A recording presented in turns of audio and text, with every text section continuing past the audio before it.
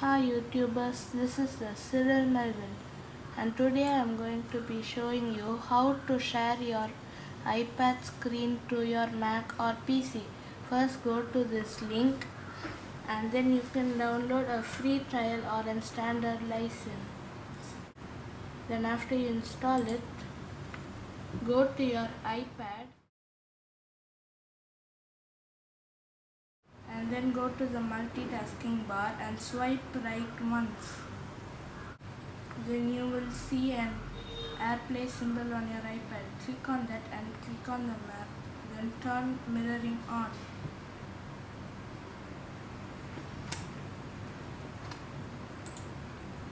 Then you will see your iPad.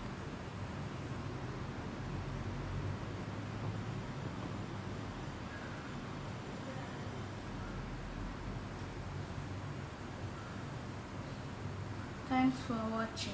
This is the Cyril Melvin. Don't forget to like, comment and subscribe.